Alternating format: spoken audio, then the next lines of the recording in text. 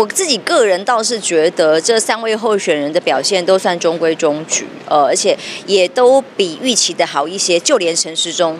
我都觉得比我预期的好一些。那么至少在第一轮的申论跟结论的时候，稿子写的不错，背的也还不错。但答题的时候比较左支右助，可能会出问题。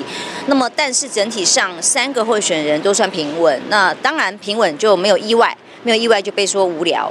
但是根据民调数字，所有的观察也是一样的，就是说几乎跟原本的基本盘是一样，并没有因为辩论会而产生了太大的变化。比方说，呃，有人有人说蒋万安好还不错哦，可是其实他的民调制度也没有冲高到哪里，跟原本制度是一样的，表示符合大家原本所预期的期待。那陈呃陈忠也一样，他想要把自己拉回比较感性一点这个角度，呃，更有人味一点呢。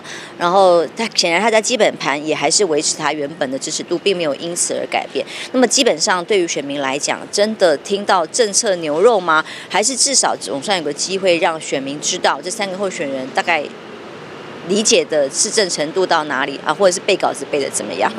但无论如何，呃，我不觉得辩论就关键。至少这次大家都四平八稳的情况之下，并没有关键的影响了。整个选情的改变，只是比较意外。陈时中会对自己的选情呢，呃，自己的辩论结果那么的有信心。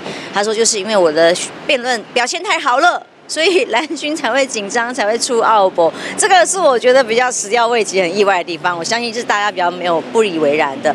而这次这个选举，选举哦，地方选举马上倒数几天下来。更攸关一个人未来前途是光明灿烂还是黑暗？那当然就是会不会跛脚的蔡英文总统。